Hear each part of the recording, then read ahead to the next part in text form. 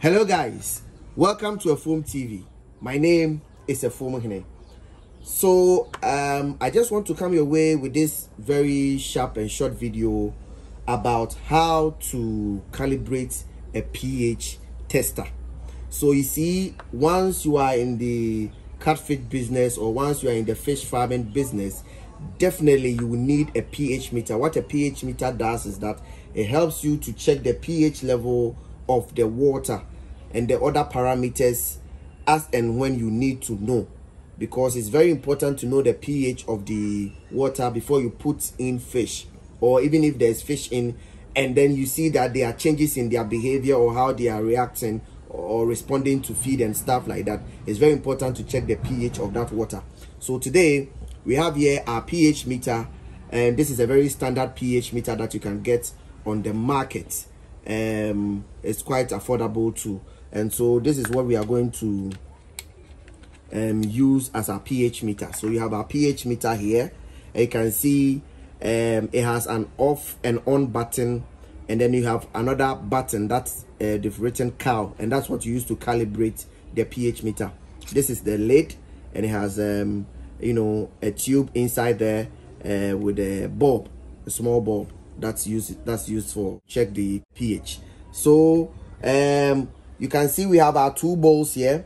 In this bowl we have uh, this is what we call the pH buffer powder. Um this mostly for the uh, alkalinity and 250 ml solution powder. What that means is that you fetch 250 ml of water and then pour this powder inside so we'll pour our powder inside in a minute. So this is for this. And then you have another one here that also has um normally for acidity. And so this also is a 250 ml solution powder. So you put 250 uh, ml of water into this one. So we'll pour our powder inside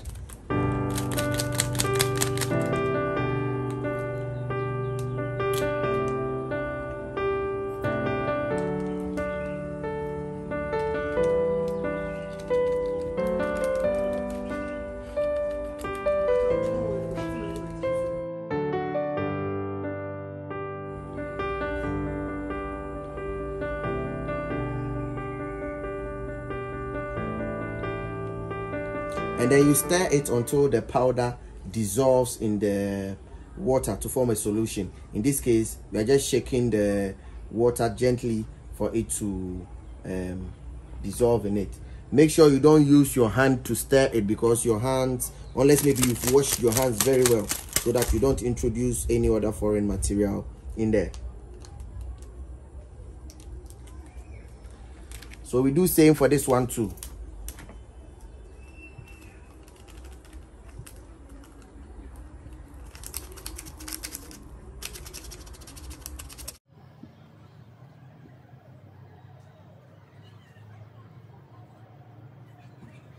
so after mixing your solution you take your the lid of the ph meter. Make sure this lid is kept very safely so you don't lose it.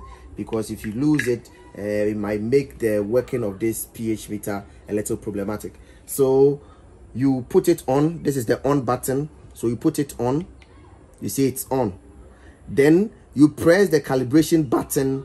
Firmly and count up to five seconds whilst it is in the solution so you press the calibration button whilst it's in the solution. So one two three four five. So you see that you have 6.86 as the reading. That means that the calibration is complete. So you can lift your ph meter up and clean it gently. Clean it gently with a clean um, a napkin or towel or tissue paper or whatever that you have. Then you come you see the readings the readings will go back to 0.00 so then you come to the other solution that you have. You press the cal or the calibration button and then put it in for another five seconds. But on this one after the five seconds then you press it again. So it goes like this. You press it in the water. One two three four five. So you see end then you leave it. As soon as you leave it then you press it again. So when you press it again you should get the readings 4.01 as the reading. At that point then you can clean it and then your pH meter is well or duly calibrated. This is the simplest way of calibrating a pH meter um, like this when you buy it on the market before you can then use it anywhere you want to use it.